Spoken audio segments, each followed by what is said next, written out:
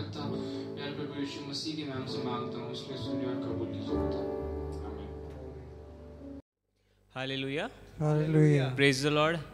आज आइए आज के दिन जब खुदावन ने ये मौका दिया है कि उसकी हम स्तुति आराधना करें तो क्यों ना हम उसके गीत गा के स्तुति आराधना करें और हम एक गीत गाएंगे जिसका नाम है जिसके बोल है राजा का राजा यीशु राजा तो आइए हम उस स्वर्गीय राजा को ऊपर उठाए उसके नाम को उच्चा उठाए उसको महिमा दें और एक गीत से उसकी स्तुति करें राजा यीशु राजा जगत में राज करेगा आहा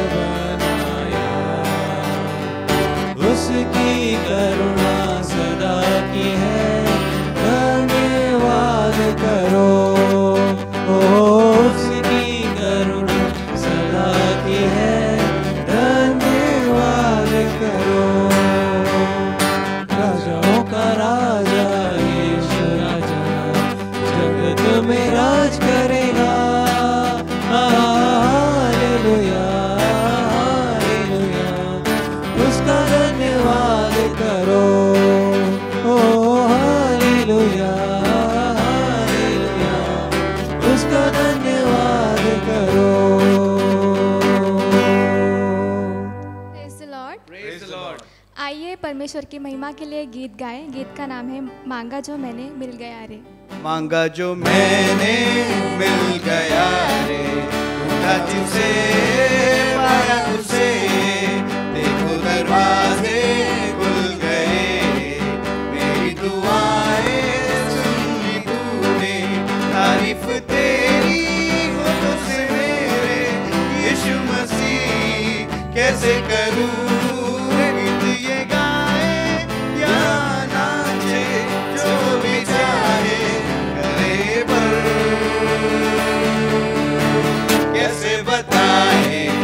कैसे दिखाए जो है इस दिल में तेरे लिए हो कोई न जाने कोई न माने किया जो तूने मेरे लिए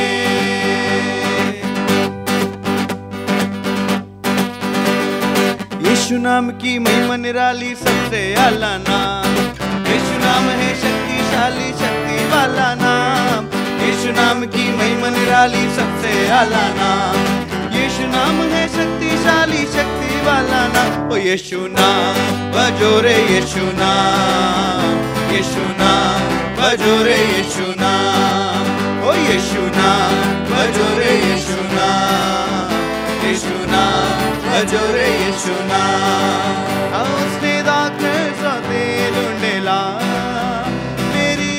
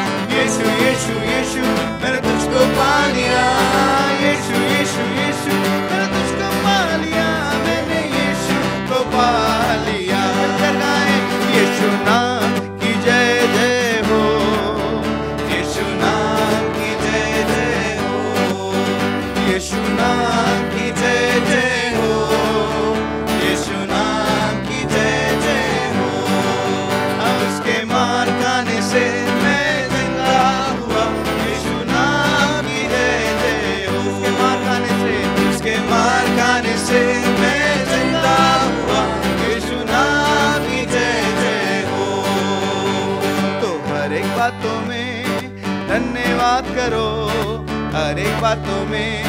धन्यवाद करो हर एक बातों में धन्यवाद करो क्योंकि प्रभु की इच्छा यही है सब मिलकर कहें हर एक बातों में धन्यवाद करो हर एक बातों में धन्यवाद करो हर एक बातों में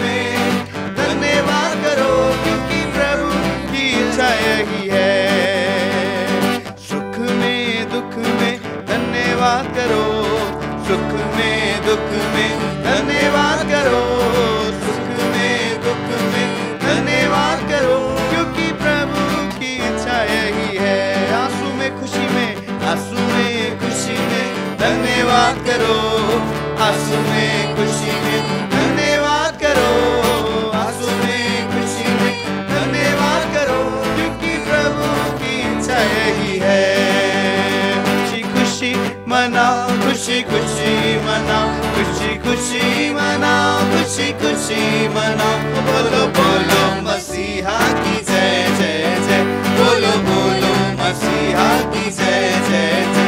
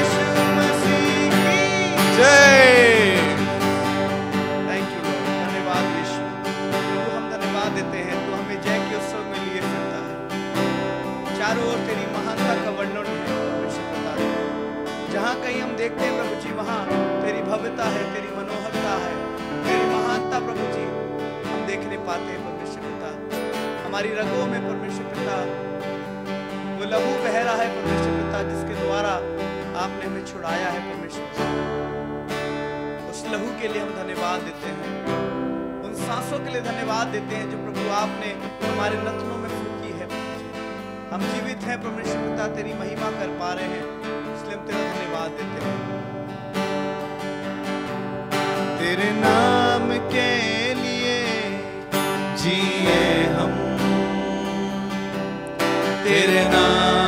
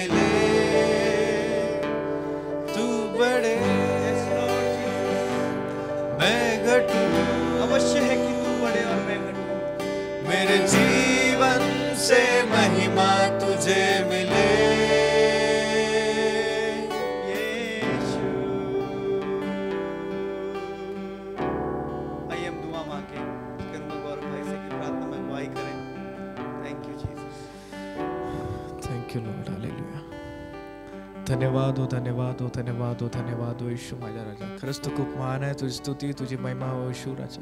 ह्या सुंदर वेळेसाठी तुझ्या नावाला धन्यवाद देतो माझ्या पिता तू आम्हाला आठवडाभर बा तू आम्हाला सांभाळून ठेवलास म्हणून तुझा आभार आहे माझ्या राजा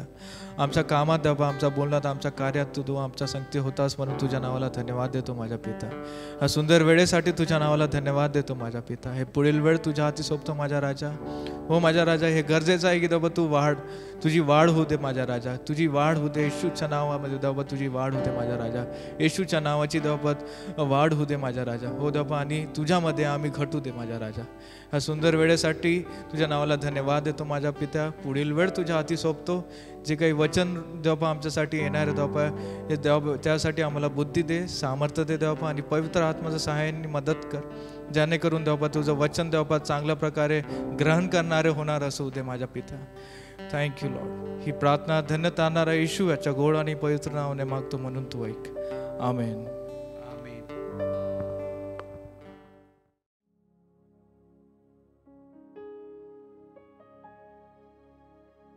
प्रेज द लॉर्ड परमेश्वर पिता का धन्यवाद करते हैं आज की सुंदर सुबह के लिए कि परमेश्वर ने हमें मौका दिया कि हम साथ मिलकर आराधना कर सकें और इससे पहले कि हम वचन में आगे बढ़ें आइए एक छोटी सी प्रार्थना करेंगे उसके बाद हम वचन में आगे बढ़ेंगे परमेश्वर पिता हम धन्यवाद करते हैं आज की सुंदर सुबह के लिए परमेश्वर धन्यवाद करते हैं कि आपने ये मौका दिया कि प्रभु आपके पवित्र कलाम को आपके लोगों के साथ बांट सकूं परमेश्वर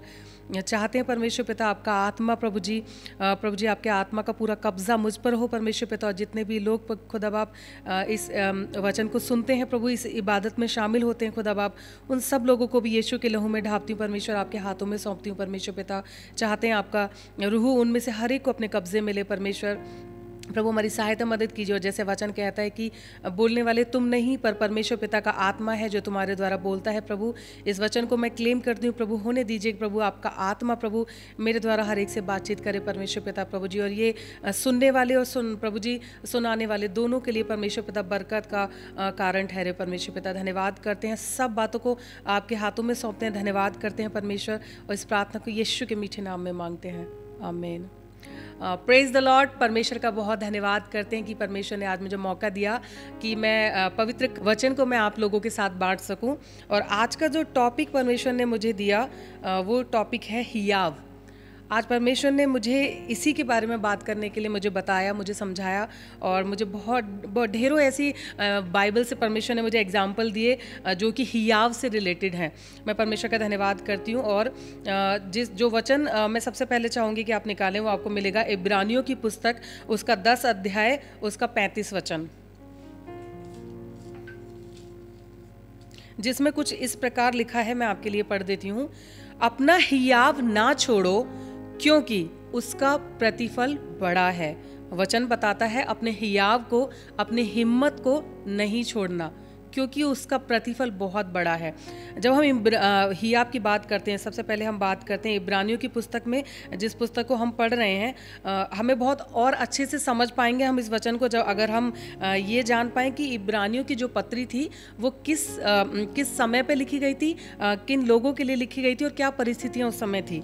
इब्रानियों की पत्री के विषय में जब हम पढ़ते हैं तो इब्रानियों की पत्री वो उन मसीह लोगों को लिखी गई थी उन मसीह ग्रुप को लिखी गई थी जो कि बढ़ते हुए विरोध के कारण अपने विश्वास को त्यागने पर थे और ये पत्री उन्हें उत्साहित करती है मोटिवेट करती है कि वो अपने विश्वास में बने रहें और परमेश्वर में स्थिर रहें इसलिए जब हम ये वचन पढ़ते हैं जो कि ये पत्री स्पेशली है ही इसलिए कि परमेश्वर के लोगों के उत्साह को बनाए रखे और उन्हें विश्वास में स्थिर करे जब ये वचन हम पढ़ते हैं कि अपना हियाव ना छोड़ो जब परमेश्वर जब परमेश्वर का कलाम हमें समझा रहा है कि अपने हियाव को ना छोड़ो इट मीन्स के हियाव की हिम्मत की एक बहुत ही बड़ी इंपॉर्टेंस है हमारी ज़िंदगी में अगर हम अपने हियाब को छोड़ दें उन कामों में जो कि परमेश्वर ने हमें सौंपे हैं तो हम कभी भी उस काम को कंप्लीट नहीं कर सकते जो परमेश्वर ने हमें दिया है ना हमारी कॉलिंग को ना अगर हम मैं बात करूँ सिर्फ कॉलिंग से रिलेटेड नहीं अगर ना हम अपने घर के काम को ना बच्चे पढ़ाई को ना एक पत्नी अपने घर के काम को बच्चे को संभालने को ना पति अपने जॉब को कोई भी काम अगर हम हिम्मत ना करें तो हम उस काम को पूरा ही नहीं कर सकते अगर हम उसमें आलस दिखाएं हम हिम्मत ना करें हम कार्य पूरा नहीं कर सकते पर आगे लिखा है अगर हम हियाब नहीं छोड़ेंगे तो परमेश्वर ने एक बड़ा प्रतिफल हमारे लिए रखा है हम बाइबल में ढेरों ऐसे एग्जाम्पल पाते हैं जहाँ बाइबल बताती है कि जिन्होंने हियाब नहीं छोड़ा उन्हें क्या प्रतिफल मिला और जिन्होंने हियाब छोड़ दिया अपने को दृढ़ नहीं रखा उनको क्या प्रतिफल मिला जैसे हम पढ़ते हैं इसमें कि परमेश्वर का वचन बताता है हमें यहुन्ना की पुस्तक उसके 16 अध्याय के 33 वचन में कि इस संसार में तुम्हें कलेश होता है इस संसार में तुम्हें कलेश होता है पर अपने हृदय को दृढ़ करो अपने हियाब को दृढ़ करो क्योंकि मैंने इस संसार को जीत लिया है परमेश्वर का वह कलाम हमें बार बार हमारे हियाव को बनाए रखने के लिए हमारे हियाव को ना छोड़ने के लिए अपनी हमारी हिम्मत को बनाए रखने के लिए हमें हियाव में दृढ़ होने के लिए बात करता है क्योंकि इसका इसका हमारी ज़िंदगी में बहुत ही महत्व है और बाइबल जैसे बताती है कि संसार में बहुत सारी बातों में हमें कलेश से गुजरना पड़ता है बहुत बार ऐसा होता है कि जो परमेश्वर ने हमें कॉलिंग दी है जो परमेश्वर ने हमें जिम्मेदारियाँ दी हैं जो काम सौंपे हैं वो इतनी ईजिली हम नहीं कर पाते उसमें बहुत सारी परेशानियों से बहुत सारे स्ट्रगल से बहुत सारे ऑब्स्टेकल से हमें होकर गुजरना पड़ता है बहुत सारी ऐसी बातें होती हैं जिसके कारण हमें लगता है कि शायद हम अपनी जर्नी को आगे कंप्लीट नहीं कर पाएंगे शायद हमारी जर्नी बस यहीं तक थी आगे परमेश्वर शायद हम ये नहीं कर सकते हमसे नहीं हो पाएगा और हम अपने हियाव को छोड़ने लगते हैं हम अपनी हिम्मत को धीरे धीरे धीरे धीरे हम हम कम हमारी हिम्मत कम होती जाती है और हम सोचते हैं परमेश्वर अब मुझसे नहीं हो पाएगा मुझसे वो सारी परेशानियाँ जो जो रास्ता आपने मेरे लिए रखा है और मेरे मार्ग में जो परेशानियाँ आ रही हैं परमेश्वर उनको मैं फेस नहीं कर पा रही हूँ फेस नहीं कर पा रहा हूँ पर परमेश्वर का वचन इसके लिए बोलता है कि हियाव रखना ज़रूरी है तभी हम परमेश्वर के उस काम को जो परमेश्वर ने हमें सौंपा हम कर सकते हैं बाइबल का वचन बाइबल हमें साफ तौर से बताती है कि परमेश्वर के इकलौते पुत्र ने भी दुख उठा उठाकर आज्ञा को मानना सीखा हम जो हम जो उसके बच्चे हैं हम हम जिसे अपना पिता बोलते हैं हम जिसे अपना प्रभु बोलते हैं उस प्रभु ने दुख उठा उठा कर आंसू बहा बहा कर आज्ञाओं को मानना सीखा तो हमारे लिए कितना ज़रूरी है कि जब हम इससे होकर जाएं तो हम ये याद रखें कि उस परमेश्वर ने हमारे लिए उस यीशु मसीह ने हमारे लिए पद चिन्हों को छोड़ा है कि जब हम उनसे होकर जाएं तो अपनी हिम्मत को ना छोड़ दें हम अपना हियाव ना छोड़ दें इसीलिए यीशु मसीह ने वो पदचिन्ह हमारे लिए छोड़ें कि ताकि हम अपने हियाव को ना त्याग दें हम हियाव में बने रहें और बाइबल बताती है कि जो भी भक्ति जो भी भक्ति से अपना जीवन बिताना चाहेगा जो भी सच्चाई से खराई से अपने जीवन को बिताना चाहेगा उन सबको सताव से उन सबको दुखों से गुजरना पड़ेगा और ये बहुत ज़रूरी अगर हम हिम्मत बनाए नहीं रखेंगे तो शायद उस सताव में शायद उस दुख में शायद उन स्ट्रगल्स में हम ढेर हो जाएं शायद उन चीज़ों को हम पार ना कर पाएँ हम हमारे लिए वो वही एक दीवार बन जाए कि हम आगे आगे ना जाने पाए इसलिए खुदा का कलाम आज बता रहा है कि हियाव रखना और अपनी हिम्मत को बनाए रखना बहुत ज़रूरी है जब परमेश्वर हमें हियाव देता है तो हम उस कॉलिंग को पूरा कर पाते हैं जो कि परमेश्वर ने हमें दी है हम अपनी खुद की ताकत से उस कॉलिंग को पूरा कर ही नहीं सकते क्योंकि हमारे अंदर उतनी क्षमता नहीं है कि हम उन सारी परेशानियों को झेल सकें और पार कर ले जाएं पर हमें उसके लिए वो हिम्मत वो ताकत चाहिए और वो हिम्मत ताकत कौन देता है परमेश्वर देता है हम किसी भी युद्ध को चाहे वो शारीरिक है चाहे वो आत्मिक है चाहे हमारे थॉट प्रोसेस में वो चल रहा है हम उसे जीत ही नहीं सकते अगर हमारे अंदर हियाव नहीं है हमारे अंदर हिम्मत नहीं है परमेश्वर की दीवे उन सारे कार्यों को करने के लिए हमें हिम्मत की बहुत ज़रूरत है जब हमारे अंदर हिम्मत हो कि हियाब होगा तो हमें झेलने की ताकत आएगी हम उन सारी परेशानियों को पार करके परमेश्वर के उस मार्ग पर सीधे चलते चले जाएंगे हम दाएँ या बाएँ नहीं मुड़ेंगे पर हमें उसके लिए करेज की हमें उसके लिए हिम्मत की हमें उसके लिए हियाब की बहुत ज़रूरत है ऐसे एक वचन में आगे बढ़ेंगे जो कि आपको मिलेगा यहूशू की पुस्तक उसका एक अध्याय का नौ वचन इसमें कुछ इस प्रकार लिखा है हम इसके नौ वचन को पढ़ते हैं क्या मैंने तुझे आज्ञा नहीं दी हियाव बांधकर दृढ़ हो जा भय ना खा और तेरा मन कच्चा ना हो परमेश्वर का वचन यहाँ भी हमें हियाव की बात कर रहा है कि हियाव बांध कर मीन्स हिम्मत बांध कर दृढ़ हो जा स्ट्रांग हो जा मजबूत हो जा डर मत बह मत खा और तेरा मन कच्चा ना हो तेरा मन टूटता ना जाए जाता ना जाए बिखर ना जाए तेरा मन कच्चा ना हो क्योंकि जहाँ जहाँ तू जाएगा वहाँ वहाँ तेरा परमेश्वर यहोवा तेरे संग रहेगा परमेश्वर का वचन परमेश्वर का कलाम कितनी खूबसूरत रीति से हमें बात समझा रहा है कि तुझे तेरा मन कच्चा करने की कोई ज़रूरत नहीं है तुझे उन परिस्थितियों से लोगों से डरने की कोई ज़रूरत नहीं है तुझे क्या करने की ज़रूरत है तुझे हियाब बांध अपनी हिम्मत बांध दृढ़ होने की ज़रूरत है परमेश्वर का वचन बताता है क्यों दृढ़ होना है क्या ऐसी खास बात है कि हम दृढ़ हो पाएंगे तो परमेश्वर का कलाम हमें बता रहा है कि जहां जहां तू जाएगा वहां वहां तेरा परमेश्वर हुआ संग रहेगा परमेश्वर का कलाम साफ बता रहे कि परमेश्वर तेरे संग रहेगा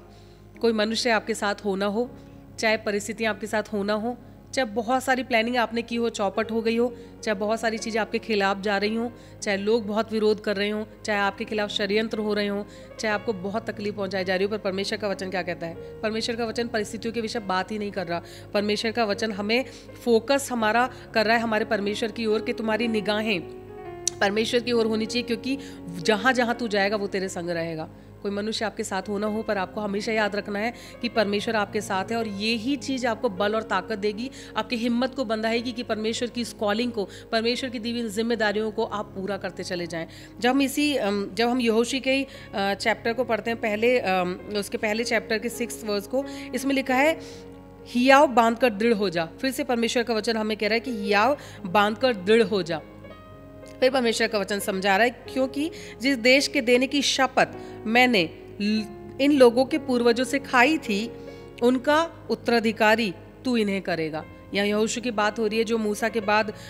जो मूसा के बाद उत्तराधिकारी था उसकी बात हो रही है और परमेश्वर उसे मोटिवेट कर रहा है इनकरेज कर रहा है हिम्मत दे रहा है कि तुझे जो मैंने पूर्व इनके पूर्वजों से शपथ खाई थी कि इनको देश दूंगा वो मैं तेरे द्वारा इन्हें दिलवाऊंगा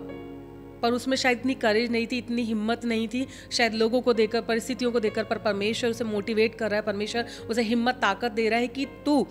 तुझे तू हिया बांध कर दृढ़ हो जा और तुझे क्योंकि तुझे इनकी अगुवाई करनी है बहुत बार अच्छे नेतृत्वकर्ता बनने के लिए हमें हिम्मत की और करेज की ज़रूरत होती है बहुत बात बहुत बार फॉल्स जो फॉल्स प्रीचिंग होती हैं जो गलत शिक्षाएं होती हैं गलत बातें होती हैं उनको अपने लोगों को उनसे बचाने के लिए हमें करेज की ज़रूरत होती है हमें खराई से बताने के लिए करेज की ज़रूरत होती है हमें हिम्मत की ज़रूरत होती है क्योंकि परिस्थितियाँ लोग हमारी हिम्मत को कहीं ना कहीं तोड़ते हैं कि हम खराई से उन बातों को ना बताएं हम भी कहीं ना कहीं कॉम्प्रोमाइज़ कर लें हम भी एक टेढ़ा एक गलत तरीका अपनाएं चाहे हम परमेश्वर की सेवा ही कर रहे हैं पर उसे सही रीति से ना करके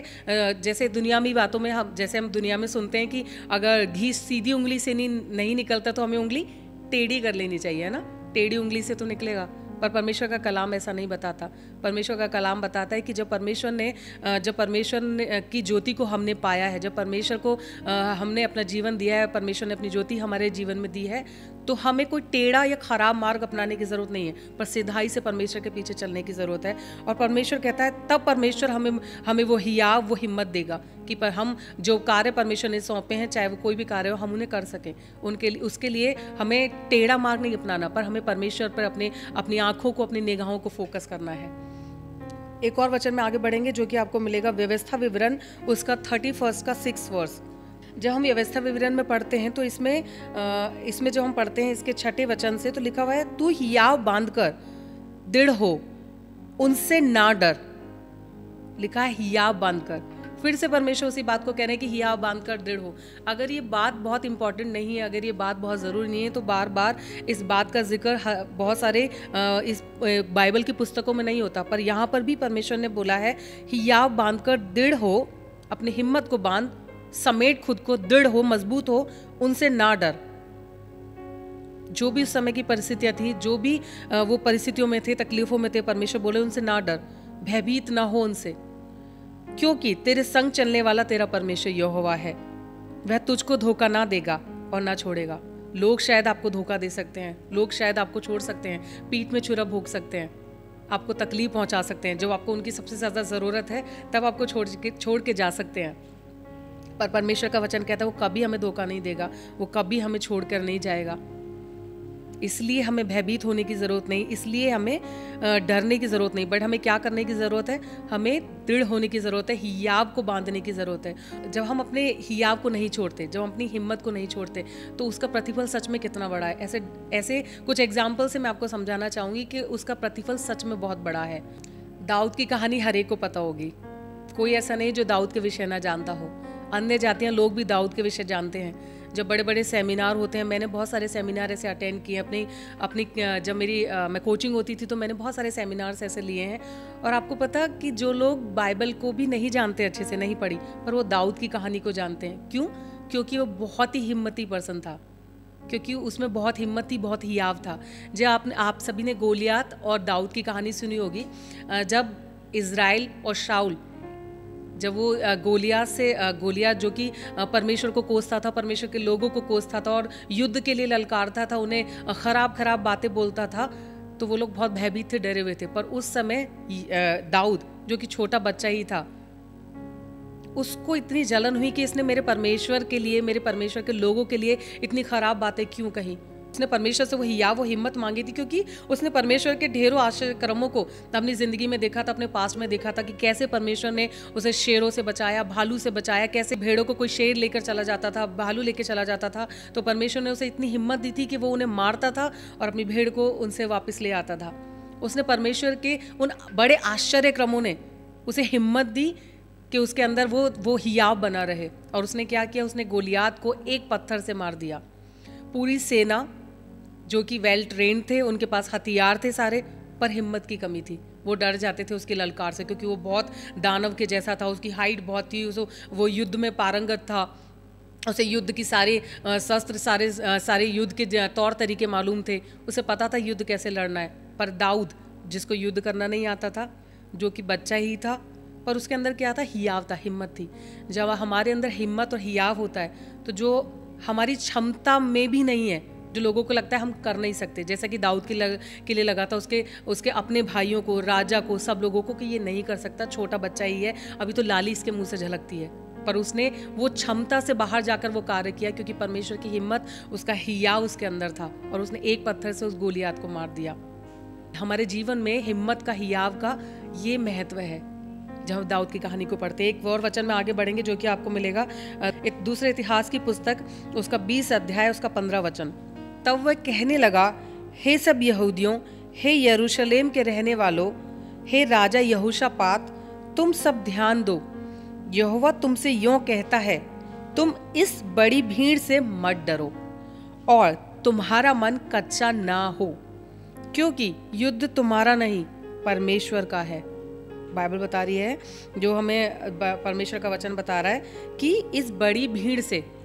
इस अध्याय में जिस युद्ध की और बड़ी भीड़ की बात हो रही है वो सिर्फ युद्ध और भीड़ सिर्फ उस समय का नहीं पर परमेश्वर हमसे बातें कर रहा है कि वो सारे युद्ध जो आप लड़ते हैं जो हर दिन आपको लड़ने पड़ते हैं मेंटली जो आपको लड़ने पड़ते हैं इमोशनली जो आपको लड़ने पड़ते हैं फाइनेंशली जो आपको लड़ने पड़ते हैं बहुत सारी ऐसी स्ट्रगल्स हैं जो आप किसी से शेयर नहीं कर सकते बहुत सारी ऐसी बातें जो आपसे आप किसी से शेयर नहीं कर सकते पर आपको रोज़मर्रा की ज़िंदगी में उन सारे स्ट्रगल से उन सारी बातों से होकर जाना पड़ता है परमेश्वर का वचन कह रहा है उन सारे युद्धों से उस बड़ी भीड़ से उन परेशानियों की बड़ी भीड़ से मत डरो क्योंकि युद्ध तुम्हारा नहीं परंतु परमेश्वर का है परमेश्वर का वचन हमें हियाव और हिम्मत देता है ताकि हम उन युद्धों में स्थिर बने रहें बहुत से लोग हैं जो परमेश्वर की राह पर जिन्होंने चलना शुरू तो किया था बट इन परेशानियों से दिक्कतों से तकलीफ़ों से वो हिम्मत हार गए और बैकस्लाइड हो गए उन्होंने परमेश्वर को छोड़ दिया या उन्होंने परमेश्वर में रहते हुए भी टेढ़ा और एक खराब मार्ग अपनाया वो कहलाते तो हैं परमेश्वर के पर उनके कामों से आप उन्हें जांच लेंगे कि वो परमेश्वर के नहीं झूठ बुराई धोखा देना चीज़ें खराब करना वो सारी बातें उनके अंदर होती हैं पर परमेश्वर का वचन किसके विषय बात कर रहा है जो सिधाई से परमेश्वर की सेवा करते हैं सिधाई से परमेश्वर के पीछे चल रहे हैं परमेश्वर की राह पर चल रहे हैं परमेश्वर का वचन कह रहा है तुम इस बड़ी भीड़ से तुम इन सारी बातों से मत डरो क्यों तुम्हारा मन कच्चा ना हो जब हमारा मन कच्चा होता है जब हम हमारा मन बहुत टूटने लगता है तो हम कहीं ना कहीं अपनी हिम्मत को हम खोने लगते हैं हमारा हियाव लो होने लगता है हम हम हम हमें लग, इतनी ताकत ही नहीं रहती हमें लगता है कि हम उठ के फिर से चल पाएंगे पर परमेश्वर का वचन कह रहा है कि तुम तुम्हें हिम्मत बांधने की ज़रूरत है मन कच्चा करने की ज़रूरत नहीं क्योंकि युद्ध तुम्हारे लिए मैं लड़ूंगा तुम्हें युद्ध करने की ज़रूरत नहीं है तुम्हें मेरे मुझ पर फोकस करने की ज़रूरत है और अपनी हिम्मत को अपने हियाव को इकट्ठा करके ताकत करके मेरे मेरे तरफ ताकने की ज़रूरत है जब हम इसमें आगे पढ़ते हैं बीसवें अध्याय के सत्रह वचन में इस लड़ाई में तुम्हें लड़ना ना होगा हे यहूदा और हे यरूशलेम ठहरे रहना और खड़े रहकर यहोवा की ओर से अपना बचाव देखना मत डरो मत डरो और तुम्हारा मन कच्चा ना हो कल उनका सामना करने को चलना और यहोवा तुम्हारे साथ रहेगा किसी व्यक्ति का मन अगर बहुत कच्चा हो किसी व्यक्ति का मन बहुत कमज़ोर हो डर से भरा हुआ हो तो किसी का सामना करने के लिए नहीं चल सकता अगर बॉर्डर पर जो पुलिस रहती है अगर उनका मन कच्चा हो वो डर बहुत डर से भरे हुए हों और वो हिम्मत ही ना हो उनके अंदर हिम्मत ना हो तो वो युद्ध नहीं कर सकते कभी भी उसी प्रकार हम भी जो परमेश्वर के लोग हैं अगर हमारा मन कच्चा रहेगा और हमारे अंदर हिम्मत नहीं होगी हियाव नहीं होगा और हम डरेंगे हाँ तो हम किसी भी उन परेशानियों का उन उन दिक्कतों का उन युद्ध का सामना नहीं कर सकते जो कि शैतान हमारे ऊपर डालता है या हम इस इस इस दुनिया में रहकर हम हमें जो चीज़ें झेलनी होती हैं या हम झेलते हैं हम उन उनका सामना कभी नहीं कर सकते और हम उनसे जीत कर पार नहीं हो सकते अगर हम हिम्मत नहीं रखेंगे जिस प्रकार बॉर्डर पर हमारे सैनिक किसी युद्ध को जीतने के लिए अपनी हिम्मत दिखाते हैं वही उसी प्रकार हम परमेश्वर के लोगों को जो हम परमेश्वर की सेना के सैनिक हैं हमें हिम्मत रखना उस युद्ध को जीतने के लिए बहुत ज़रूरी है हमें बहुत बार ये बहुत छोटी बात लगती है कि शायद बहुत छोट नहीं बहुत छोटी बात है वहाँ से तुलना शायद बेकार है पर वो तुलना बेकार नहीं है सच में आप सर, आप परमेश्वर की सेना के सैनिक हैं तो एक सैनिक अगर हिम्मत ही नहीं होगा डरपोक होगा तो शायद वो युद्ध को कर ही ना पाए और करे तो भी हार जाए इसलिए परमेश्वर का वचन बताता है कि तुम्हें करना क्या है तुम्हें मन को कच्चा नहीं करना तुम्हें उस ताकत को उस स्ट्रेंथ को जो परमेश्वर ने दी है उसे बनाकर रखना है अपने अंदर चाहे कितनी ख़राब बातों का सामना कर रहे हो चाहे आप आप आपके ऑफिस में कितनी ख़राब बातें आपके खिलाफ हो रही हों आपकी आपके जब आपने बिज़नेस स्टार्ट किया उसके खिलाफ लोग जल रहे हों आपके बिज़नेस को ख़राब करने के लिए आपकी मिनिस्ट्री को ख़राब करने के लिए आपके लोगों को ख़राब करने के लिए तमाम कोशिशें कर रहे हों आपके खिलाफ हों आपके लिए विरोध की बातें कर रहे हों पर हमने इब्रानियों की पत्री में पढ़ा था जब इब्रानियों की पत्री लिखी जा रही थी तो वो लिखी जा रही थी उन मसीही लोगों के लिए उन मसीही ग्रुप के लिए जो कि बहुत विरोध के कारण तकलीफ़ों के कारण अपने विश्वास को त्यागने पड़ते परमेश्वर अपने लोगों को समय समय पर उत्साहित करता है उत्तेजित करता है मोटिवेट करता है कि वो अपने विश्वास में बने रहें वो अपने हियाव को बनाए रखें अपनी हिम्मत को बनाए रखें ताकि वो हार ना जाए ताकि वो उनका फेथ जाता ना रहे हमारे फेथ में हमें स्ट्रांग होने के लिए भी हमें हिम्मत की ज़रूरत है हम कुछ और उदाहरण से आगे सीखेंगे जब हम एस्तर के विषय में पढ़ते हैं एस्तर ने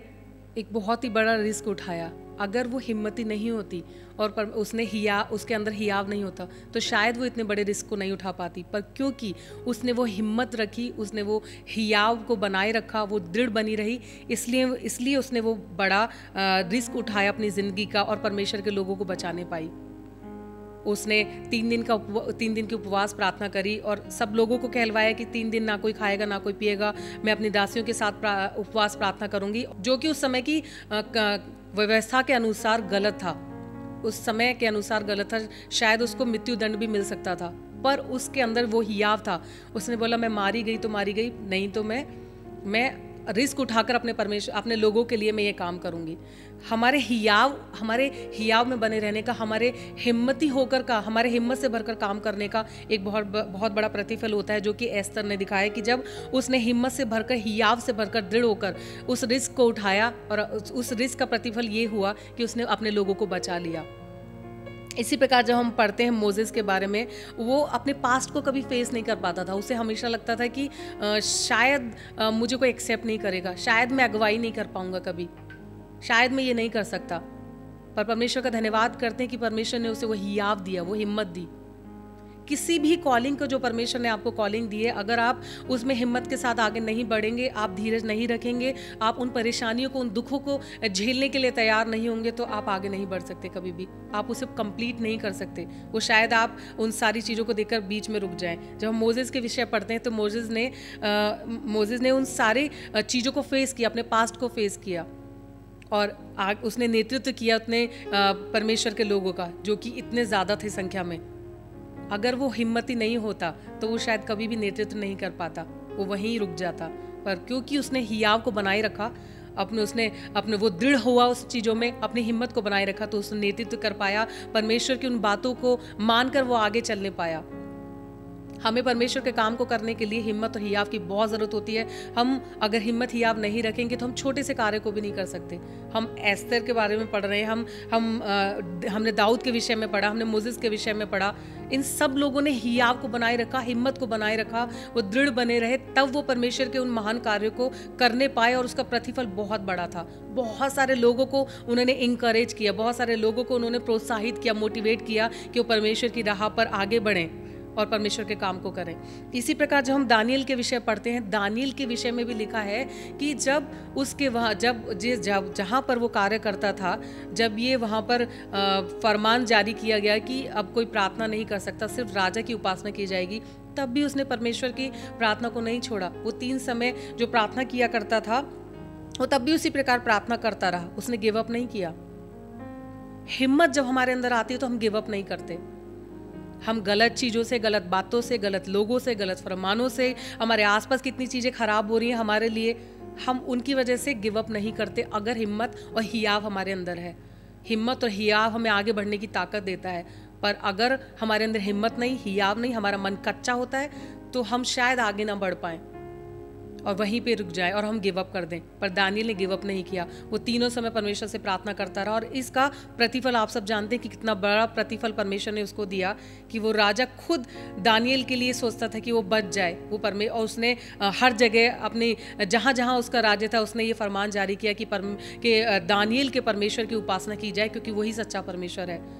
जब हम रिस्क उठाते हैं जब हम हिम्मत रखते हैं तो हम हम रिस्क उठा सकते हैं जब हम हिम्मत रखते हैं हियाव रखते हैं तो हम गिव अप नहीं करते हम हम लीडरशिप में रह सकते हैं हम लोगों की सही अगुवाई कर सकते हैं जब हम जब हम हिम्मत और हियाव रखते हैं हम उन सारी चीज़ों को बदल सकते हैं जो कि परमेश्वर के लोगों के खिलाफ उठती हैं जब वो हिम्मत रखते हैं जब हम हम हम अपने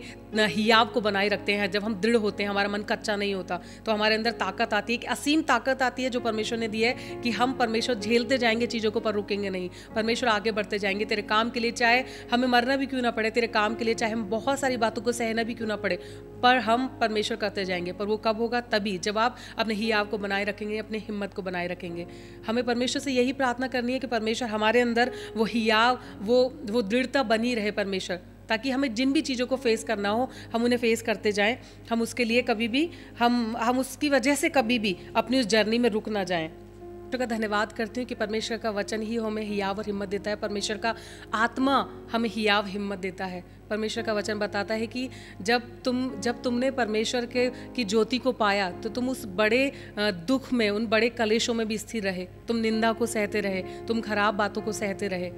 तुमने तनिक भी इन बातों की चिंता नहीं की कि तुम पर झूठे इल्ज़ाम लगाए जाते हैं तुम्हारी बुराई की जाती है तुम इतने दुखों में हो तकलीफ में हो तुम तुम्हारे लिए जितनी भी लाभ की चीज़ें थी वो तुमसे छीन ली गई क्यों क्योंकि हमें बड़ा प्रतिफल उस समय दिखाई देता था कि परमेश्वर ने हमारे लिए बड़ा प्रतिफल रखा है पर आज जब हम परमेश्वर को इतनी अच्छी रीति से जान गए जब परमेश्वर में आगे बढ़ गए हैं जब हम उस समय से जब परमेश्वर को हमने जाना था हम कितनी आगे आ चुके तो आज हम क्यों हम दुख कलेशों के कारण अपने ही आप को छोड़ते हैं आज हम क्यों उन लोगों के कारण जो परमेश्वर की सेवा सिधाई से नहीं करते जो कि सिर्फ नीच कमाई के लिए परमेश्वर के पीछे लगते हैं हम उन लोगों को देखकर परमेश्वर के कामों को त्याग देते हैं हम हिम्मत हार जाते हैं आज परमेश्वर का वचन हम में से हर एक जन को इंकरेज करता है कि हिम्मत हारने की ज़रूरत नहीं अपनी हिम्मत को बनाए रखें अपने हियाव को बनाए रखें और उन दुखों उन बड़े कलेशों उन झूठी निंदाओं उन खराब बातों उन स्ट्रगल्स को जो आपको आप झेल रहे हैं और शायद आने वाले समय में आपको झेलने पड़ेंगे आपको डरने की ज़रूरत नहीं पर परमेश्वर हमारे साथ बना रहेगा खुदा हमें ताकत देगा हिम्मत देगा पर हम परमेश्वर से मांगेंगे तब क्योंकि बिना उसके हम किसी युद्ध को जीत नहीं पाएंगे हम युद्ध के लिए निकलेंगे ही नहीं क्योंकि हम इतने भयभीत होंगे हमारा मन इतना कच्चा होगा और जैसे आने वाले समय पे हम सुनते भी हैं कि बहुत सारी बातें शायद बहुत अच्छी नहीं है मसीह लोगों के लिए उस समय हमें हिम्मत की ही आपकी बहुत ज़रूरत है हमें एक दूसरे के लिए प्रार्थना करनी है हमें उन सारी बातों से ख़राब बातों से नेगेटिव चीज़ों से उन सारे ख़राब एटीट्यूड से उन सारी ऐसी बातों से जो कि बाइबल बाइबल की खरी शिक्षाओं से अलग है बिल्कुल और जो कि एक तरह से गलत वचन है उन सब से बचना है हमें और हमें हमें परमेश्वर से प्रार्थना करनी है कि परमेश्वर उन सारी आ, से उन सारी बातों में जो आपने हमें करने के लिए सौंपी है परमेश्वर आप हमें हिम्मत ही आप दें और हम विश्वास के साथ उन सारी बातों में हम चलते रहें परमेश्वर हम पीछे ना हटें हम बैक स्लाइड ना हो परमेश्वर हम उन कामों को करते रहें परमेश्वर हम आपकी हिम्मत के बिना कुछ नहीं कर सकते परमेश्वर हमें ही याद दे हमें हिम्मत दे हमारा मन कच्चा ना हो पर हमारा फोकस सिर्फ अपने परमेश्वर की ओर रहेगी जब जब हमारी निगाहें हमारे परमेश्वर की ओर रहेंगी तो हमारा मन कच्चा नहीं होगा हमें ताकत मिलेगी पर जब हमारी निगाहें हमारी परिस्थितियों पर हाँ, उन लोगों पर उन पर उन सारी चीज़ों पर जो जो संसार की हैं टिकी रहेंगी तो हम कहीं ना कहीं अपना मन कच्चा कर बैठेंगे तो हमें हमारी निगाहें परमेश्वर की ओर लगा कर रखनी है परमेश्वर से उस हियाब को मांगना है क्योंकि हियाब के बिना आप नहीं जीत पाएंगे हम ढेरों इतने हमने उदाहरण पढ़े आज चाहे वो एस्तर हो चाहे वो मोजिज़ हो चाहे वो दानिल हो चाहे वो दाऊद हो चाहे वो शाउल हो जो कि बा, बाद में पॉलुस बन गया ये सब लोग जोगी परमेश्वर की सेवा में थे और इन्होंने अंत समय तक परमेश्वर की सेवा करी उस हिम्मत को हिया को नहीं छोड़ा इसलिए परमेश्वर ने उनको वो बड़ा प्रतिफल दिया जब स्तिप्न उसके विषय पढ़ते हैं तो उसने अपनी मृत्यु तक परमेश्वर के उस हियाव को उस हिम्मत को नहीं छोड़ा अगर वो डर जाता तो वहाँ से शायद भाग सकता था पर परमेश्वर के किसी भी जन ने जब हम पढ़ते हैं बाइबल में तो उस हिम्मत ही को नहीं छोड़ा जब हम नए नियम में भी पढ़ते हैं उन्होंने अंत तक उस हियाव को बनाए रखा उस हिम्मत को बनाए रखा क्योंकि उन्हें पता था इसका प्रतिफल बहुत बड़ा होगा अगर हमने हिम्मत छोड़ दी हमने हियाव छोड़ दिया तो परमेश्वर को वो बात पसंद नहीं आएगी परमेश्वर को भाएगी नहीं कि हम उन हम परमेश्वर के कामों से पीछे हट जाएं हम परमेश्वर को ऐसे कभी प्रसन्न नहीं कर सकते कि हम अपने विश्वास से अपने हियाव से पीछे हट जाएं पर हम जब हम विहयाव रखेंगे तो परमेश्वर के उन सारे बड़े कामों को कर पाएंगे जो कि उन्होंने हमारे लिए रखे हैं हम हिम्मत नहीं हारेंगे ख़राब बातों से हम हिम्मत नहीं हारेंगे उन किसी भी चीज़ से जो कि शैतान जलते तीरों को जब हमारे ऊपर छोड़ता है तो हम हिम्मत नहीं हारेंगे पर हम ढाल लेकर उन उन तीरों का सामना कर सकेंगे वो हमें नुकसान नहीं पहुँचाने पाएंगे धन्यवाद करते परमेश्वर का कि परमेश्वर ने इतने सुंदर कलाम को दिया मैं धन्यवाद करती हूँ परमेश्वर का कि हमारी ज़िंदगी में हियाव की क्या है क्या अहमियत परमेश्वर ने बताया और मैं विश्वास करती हूँ परमेश्वर ने जब मुझे आशीष दी है ढेरों बात परमेश्वर ने मुझसे इन कलाम से इस कलाम से बात की है जब मैं हिम्मत हारने लगी जब मुझे लगा कि शायद नहीं हो सकता तो परमेश्वर ने कहा तुझे डरने की ज़रूरत नहीं तुझे अपना मन कच्चा करने की ज़रूरत नहीं मैं तेरे साथ हूँ इसी प्रकार मैं भी परमेश्वर के वचन से आप सब लोगों को इंकरेज करना चाहती हूँ कि आपको डरने की ज़रूरत नहीं है मन कच्चा करने की ज़रूरत नहीं है जबकि आज जब आपके आसपास बहुत सारी ख़राब बातें होती हैं आप सिधाई से चल रहे हैं आप परमेश्वर को प्रेम करते हैं उसकी सेवा कर रहे हैं जैसा परमेश्वर ने कहा वैसा कर रहे हैं तो आपको डरने की ज़रूरत नहीं है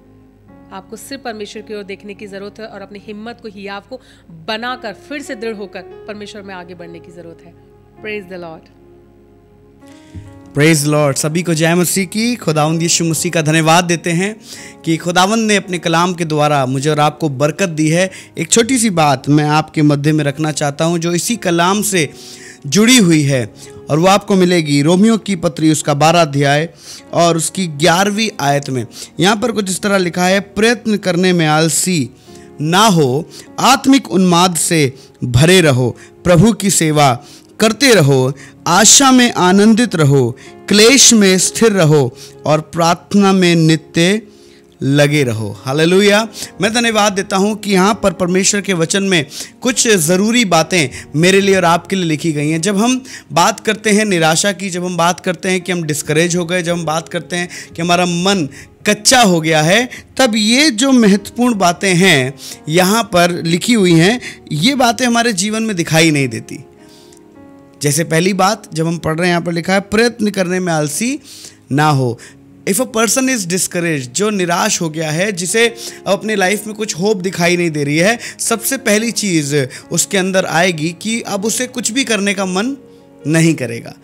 अब उसकी इच्छा नहीं होगी कि वो कुछ भी काम में अपना हाथ बढ़ा सके या अपने लिए कोई स्टेप ले सके परमेश्वर का कलाम मुझे और आपको ये भी सिखाता है कि हम प्रयत्न करने में आलसी ना होने पाए जब हम प्रयत्न करने में आलसी हो जाते हैं that means we are stopping to move forward in our life और हम अपने जीवन में आगे नहीं बढ़ना चाहते और उन चुनौतियों का सामना नहीं करना चाहते जो आगे हमारे लिए रखी हुई हैं पर जब हम अपने जीवन में स्टेप्स लेंगे जब हम अपने जीवन में अपने आप को तैयार करेंगे दैट इनफ इज़ इनफ बहुत हो गया अब हम आगे बढ़ने के लिए अपने कदमों को बढ़ाएंगे तब यकीन खुदावंद हमारे जीवन में अद्भुत कामों को करेगा आगे लिखा हुआ आत्मिक उन्माद से भरे रहो second most important thing is कि हम आत्मिक उन्माद से से भरे रहें we should be filled with the spirit of the lord we should be filled with the zeal for the lord for his work जब हम आत्मिक उन्माद से भरे रहते हैं जब आत्मा को अपने अंदर कार्य करने देते हैं बाइबल बताती है शरीर तो निर्बल है पर आत्मा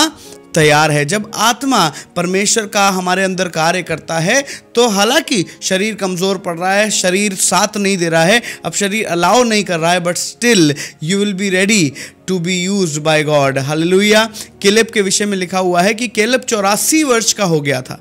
चौरासी वर्ष की आयु एक लंबी आयु होती है और चौरासी वर्ष में बल घट जाता है पर जानते हैं केलेब क्या कह रहा था केलेब ने कहा अगर खुदावंद मुझे पुकारे अगर खुदावंद मुझसे कहे तो आज भी मैं उस पहाड़ पर चढ़ सकता हूँ हालेलुया ये झील है ये आत्मिक आत्मिकता का बहाव है जो केलेब के जीवन में उसी तरह हमें भी आत्मिक उन्माद से भरे रहने की आवश्यकता है परिस्थितियाँ चाहे कैसी भी हों हम आत्मा में ना बुझें हम प्रयत्न करने में आलसी ना हो जाएं आगे लिखा हुआ है प्रभु की सेवा करते रहो इस दुनिया में जब हम दुनिया में काम करते हैं दुनिया की चीज़ों की तरफ भागते हैं ये दुनिया हमें कुछ पल का आराम दे सकती है कुछ पल की सुख सुविधाएं दे सकती है बट जब हम प्रभु की सेवा करते हैं जब हम प्रभु के पीछे चलते हैं हम परमेश्वर की ओर से ना सिर्फ शांति पाते हैं पर परमेश्वर यहाँ तो हमें आशीष देता ही है पर उन स्वर्गीय स्थानों में भी उसने हमारे लिए इंतज़ाम किया है हाल इसलिए हमें प्रभु की सेवा में नित्य लगे रहना है और प्रभु की बातों से दूर नहीं भागना है क्योंकि एक वही है जो हमारी निराशा में आशा उत्पन्न करेगा लिखा हुआ है आशा में आनंदित रहो हम रूप को देखकर नहीं पर विश्वास से चलने वाले लोग हैं और हमें पता है कि हो सकता है आज दुख है आज क्लेश है आज परेशानियां हैं पर आने वाली महिमा इससे कहीं ज़्यादा बड़ी है जो परमेश्वर मुझे और आपको देना चाहता है इसलिए हमें आशा में आनंदित रहने की ज़रूरत है खुश रहने की ज़रूरत है and we should trust in name कि प्रभु मुझे पता है कि मेरा कल तेरी उपस्थिति में होगा मेरा कल नई आशा को उत्पन्न करेगा मेरा कल तेरे अद्भुत कामों को प्रकट करेगा आज शायद खराब है आज शायद रोना है आज शायद दांतों का पीसना है आज शायद परेशानी है पर फिर भी कल मेरा खूबसूरत होने पाएगा इसलिए वचन कहता है आशा में आनंदित रहो लिखा हुआ है जब इब्राहिम से खुदा ने कहा मेरी उपस्थिति में चल और सिद्ध होता जा इब्राहिम ने क्या किया इब्राहिम ने ये नहीं कहा प्रभु पता नहीं कब मैं सिद्ध होऊंगा पता नहीं कब मैं पहुंचूंगा पता नहीं कब मैं अपनी आशीषों को देखने पाऊंगा पर इब्राहिम चलता रहा चलता रहा चलता रहा और वो अपनी आशा में क्या रहा आनंदित रहा और उसने वो सब आशीषें जो उसके लिए ठहराई थी उसे वो देखने पाया लिखा हुआ है क्लेश में स्थिर रहो और प्रार्थना में नित्य लगे रहो क्लेशों में संकटों में हमें स्थिरता से प्रभु को थामे रहना है उसमें बने रहना है अपना जी नहीं चुराना हमें ये नहीं कहना प्रभु इस क्लेश को हटा दे इस परेशानी को हटा दे नहीं नहीं नहीं वही तो तुम्हें प्रिपेयर करेंगी वही तो तुम्हें प्रभु के निकट लेकर जाएंगी वही तो हमें बैटल फील्ड में मजबूत करेंगे कि हम हर चुनौती का सामना कर सकें इसलिए जब क्लेश आए संकट आए उसमें स्थिर रहना सीखिए उससे भागिए मत उससे जी मत चुराइए क्योंकि खुदा चाहता है कि आपका मन कच्चा ना हो आप हिया और रखें हर चीज़ का सामना करने के लिए से लिखा है क्लेश में स्थिर रहो प्रार्थना में नित्य लगे रहो प्रार्थना में बने रहिए जब भी ऐसे संकट ऐसी परेशानियां जब हमारा मन अच्छा नहीं है जब परिस्थितियां अच्छी नहीं है जब हमें लग रहा है कि अब मेरा कल का क्या होगा मेरे बिजनेस का क्या होगा मेरे बच्चों का क्या होगा मेरे सेवकाई का क्या होगा no matter what the circumstances are पर एक चीज़ तय है अगर आप नित्य प्रार्थना में लगे रहेंगे God will make a way where there seems to be no way लोहिया जहाँ कोई रास्ता नहीं होता वहाँ पर परमेश्वर रास्ता उत्पन्न करता है खुदा के लोगों हम एक ऐसे जीवित परमेश्वर की आराधना करते हैं जो सब बातों में सक्षम है लोहिया इसीलिए एक बहुत खूबसूरत उदाहरण है नीति वचन उसका छः अध्याय उसकी छठी आयत में लिखा है मैं आपके सम्मुख पढ़ना चाहता हूँ एक बहुत अच्छा उदाहरण दिया गया है यहाँ पर लिखा है हे आलसी चीटियों के पास जा उनके काम पर ध्यान दे और बुद्धिमान हो यहाँ पर परमेश्वर ने अपने कलाम में चीटियों का उदाहरण दिया किसका चीटियों का चीटियाँ बहुत छोटी दिखाई देती हैं अगर हम देखें उन चीटियों को तो चीटियों के पास क्या है चीटियों को यूं ही कोई भी मसल कर चला जाता है ना चीटियों को कोई भी पैरों तले रौंद देता है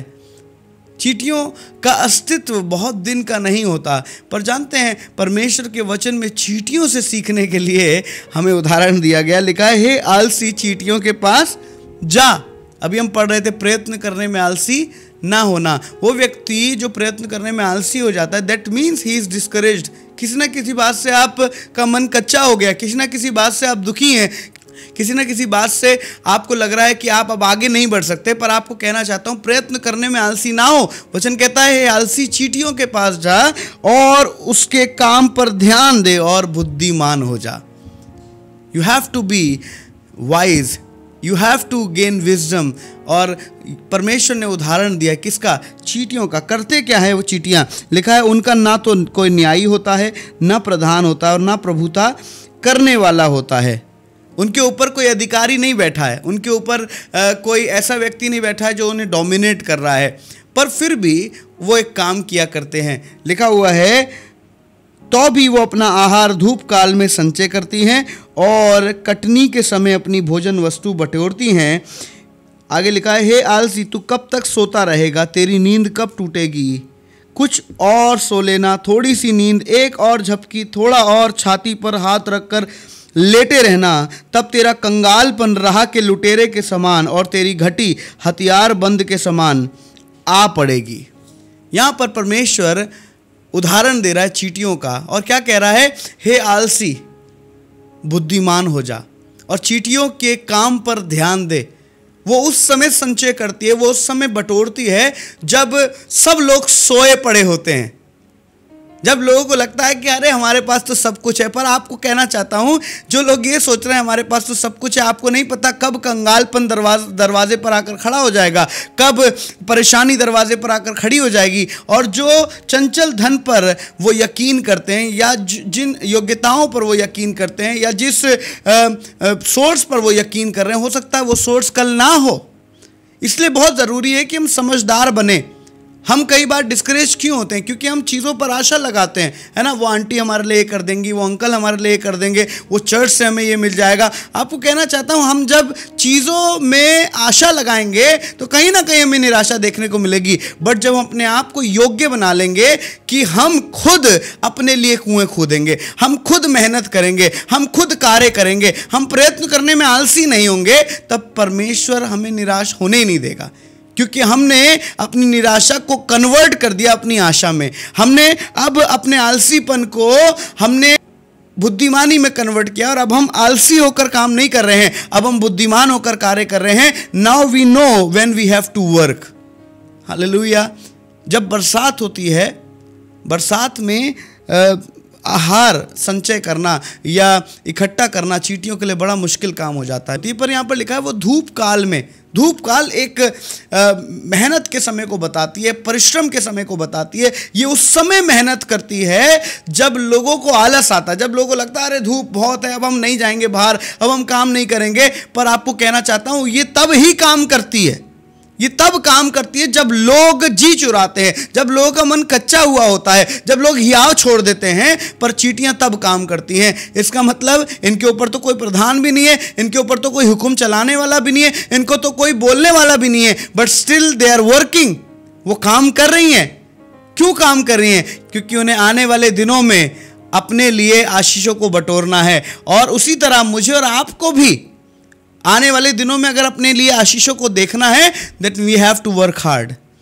we have to focus on things that are godly हमें हमें भी अपना ध्यान परमेश्वर के वचनों की ओर परमेश्वर की बातों की ओर और उन बातों की ओर जो परमेश्वर ने हमारे लिए ठहराई है हमें उनकी ओर बढ़ना है आलसी नहीं होना है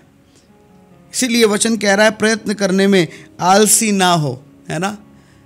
हम जब डिस्करेज हो जाते हैं हम जब हमारा मन कच्चा कर लेते हैं जब हमें लगता है कि अब कुछ नहीं रखा है हमारे लिए आपको कहना चाहता हूँ सच में बहुत आलस आता है सही में लगता है कि अब हम कुछ नहीं करो चलो सो जाते हैं चलो अब बैठ जाते हैं चलो एक मूवी लगा लेते हैं चलो घर में दिन भर पड़े रहेंगे दिन भर खाते रहेंगे पर अब हमारा करने का कुछ मन नहीं कर रहा है ये क्या है क्या हम इतने निराश हो गए कि अब हम कुछ नहीं करना चाहते इसका मतलब हम परमेश्वर की ओर फोकस्ड नहीं है वो चीटियाँ जिनके ऊपर कोई मालिक नहीं है जिनके ऊपर कोई अधिकार रखने वाला नहीं है but still they are working इनसे सीखने की ज़रूरत है इनसे बुद्धिमानी लेने की ज़रूरत है और ये हमारे लिए एक सबक है कि हम इन चीटियों से सीखें इनकी वैल्यू बहुत सकता है बहुत कम है बहुत छोटी सी दिखाई देती है बट स्टिल उसे पता है उसके जीवन का लक्ष्य क्या है उसे पता है उसे क्या करना है क्या आपको पता है आपको क्या करना है आर यू फोकस्ड इनफ कि आप डिस्करेज ना हो क्या आप सचमुच परमेश्वर पर अपनी निगाहों को लगा कर चल रहे हैं अगर चल रहे हैं ना मैं विश्वास करता हूँ कि प्रभु आपको निराश नहीं होने देगा प्रभु आपका मन कच्चा नहीं होने देगा आप किसी भी परिस्थिति से डरेंगे नहीं पर आपको पता होगा कि मेरा कल मेरे परमेश्वर के हाथों में है and he will make everything secure for me hallelujah इसीलिए मैं आपको फिर से इस बात के लिए इनक्रेज करना चाहता हूँ वो जो आकाश के पक्षी हैं ना आसमान में रहते हैं लिखा हुआ है वो ना बोते हैं ना काटते हैं पर फिर भी प्रभु उन्हें समय पर आहार देता है लिखा है तुम उन गौरैयों से कहीं ज़्यादा बढ़कर हो उन पक्षियों से कहीं ज़्यादा बढ़कर हो परमेश्वर ने हमें वैल्यू दी है परमेश्वर ने हमें हमारा वर्थ आकाश के पक्षियों से कहीं ज़्यादा लगाए तो क्या वो आपकी आवश्यकताएं मेरी आवश्यकताएं पूरी नहीं करेगा बट इसका मतलब ये नहीं कि हम आलसी हो जाएं इसका मतलब ये नहीं कि हम आत्मिक उन्माद से ना भरे रहें इसका मतलब ये नहीं कि हम प्रभु की सेवा करना बंद कर दें हम आशा में आनंदित रहें नित्य प्रार्थना में लगे रहें प्रभु की सेवा करते रहें और प्रयत्न करने में आलसी ना हो and I believe Lord will never allow you to be discourage hallelujah मैं विश्वास करता हूँ कि प्रभु ने इस कलाम के द्वारा आज आपको बरकत दी है और मेरी यही दुआ है कि हम खुदावंद में बढ़ें और कभी निराश ना हो आइए दुआ करें अगर आप अपने आप में कहीं ना कहीं किसी बात से किसी ऐसी चीज़ से डिस्करेज पाए जाते हैं या आपको लग रहा है कि हाँ इस बात ने मुझे डिस्करेज कर दिया था मैं बढ़ नहीं पा रहा था तो आइए दुआ करें अपने हाथ को आप उठा सकते हैं प्रभु की ओर और, और प्रार्थना करें मेरे साथ खुदावंद यीशु मसीह हम प्रार्थना करते हैं प्रभु जी इस समय में उस शख्स के लिए जो परमेश्वर पिता किसी ना किसी परिस्थिति में निराश है हो सकता है बार बार किसी चीज़ के लिए अटैम्प्ट कर रहे हैं कोई एग्ज़ाम देना चाह रहा है परमेश्वर पिता पर क्लियर नहीं हो पा रहा है प्रभु दुआ करता हूँ उनकी सहायता कर कि वो अपने प्रयत्न को कम ना करें वो अपनी मेहनत को करते रहें और मैं विश्वास करता हूँ कि प्रभु आप उनको प्रतिफल देंगे परमेश्वर पिता यदि कोई बार बार जॉब के लिए ट्राई कर रहा है प्रभु जी उन्हें वो जॉब नहीं मिल पा रही जैसा वो चाहते हैं प्रभु मेरी दुआ है कि प्रभु वो प्रयत्न करने में आलसी ना होने पाए परमेश्वर पिता वरन वो उस चीज़ के लिए मेहनत करते रहें और यकीनन उन्हें वो जॉब मिलने पाएगी जो आपने उनके लिए ठहराई है परमेश्वर पिता मुझे नहीं पता आज किन किन बातों से तेरे लोग निराश हैं but I believe firmly in are in my heart Lord father प्रभु जी कि आप हरेक को आज हियाव दे रहे हैं हर एक को आज हिम्मत दे रहे हैं हर एक को आज प्रभु जी आप इस बात का आश्वासन दे रहे हैं कि तुम्हारा कल मेरे हाथों में सुरक्षित है परमेश्वर पिता अनुग्रह कर हर वो कलाम की बात जो आज हमने सीखी है जैसा हमने सीखा है उसी के अनुसार हम उस पर अमल करते रहें और मैं विश्वास करता हूँ हम कभी भी निराश नहीं होंगे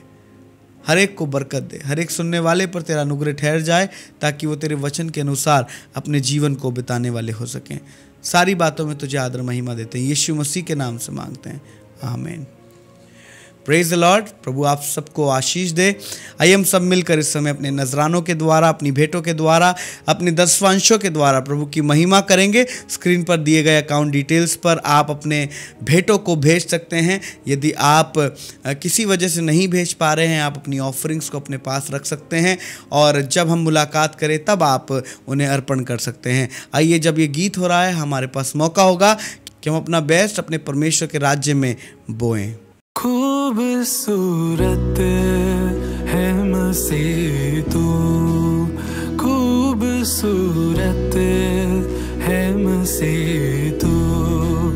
किस कलम रंग से लिखूं तेरे चेहरे में है जो बात तेरे चेहरे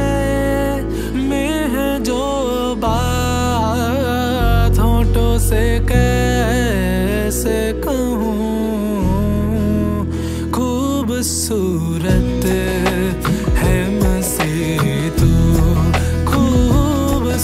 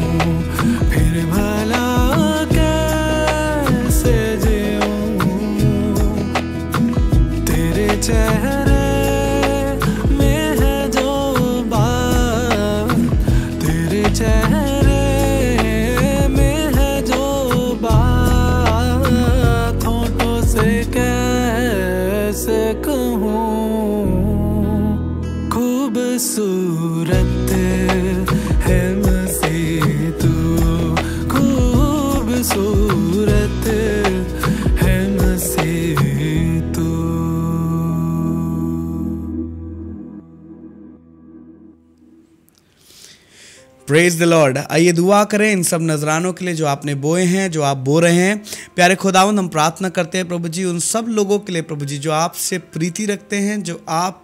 के समीप हैं परमेश्वर पिता जो आपके निकटता में अपने जीवन को बिता रहे हैं परमेश्वर पिता प्रार्थना करता हूँ जिस तरह आज आपने इनकी निराशा में आशा उत्पन्न की है उसी तरह मेरी दुआ है परमेश्वर पिता इनके इन इस धन पर प्रभु जी इन भेंटों पर तू अपना अनुग्रह उंडेल परमेश्वर पिता चाहता हूँ प्रभु जी जब इन्होंने विश्वास योग्यता के साथ बोया है और ये बो रहे हैं परमेश्वर पिता खुदाबाप अनुग्रह कर ताकि इनकी टोकरियाँ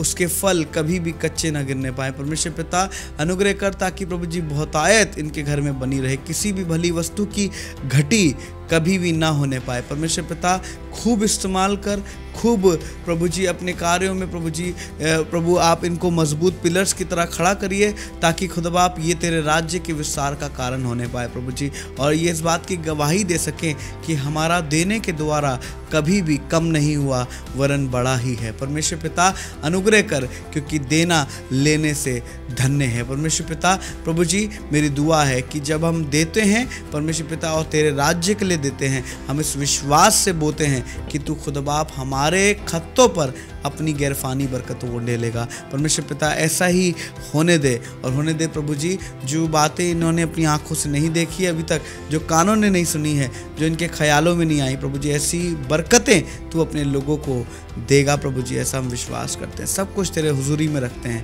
और इस विश्वास की प्रार्थना को यीशु मसीह के नाम से मांगते हैं आमीन आइए हम सब मिलकर प्रभु की सिखाई प्रार्थना बोलें उसके बाद आखिरी आशीष से रुखसत होंगे ये हमारे पिता तो जो स्वर्ग में है तेरा नाम पवित्र माना जाए तेरा राज्य आए तेरी इच्छा जैसे स्वर्ग में पूरी होती है वैसे पृथ्वी पर भी हो हमारे दिन भर की रोटी आज हमें दे जिस तरह अपराधों को क्षमा करते हैं तू भी हमारे अपराधों को क्षमा कर हमें परीक्षा में ना पढ़ने दे परंतु ब्राइट से बचा क्योंकि राज्य पराक्रम महिमा वो सर्वदा तेरे हैं आमीन और हमारे खुदावंद यीशु मसीह का फजल खुद बाप की मोहब्बत पवित्र आत्मा की सहभागिता हमें से हर एक के साथ अबदियत तक होती रहे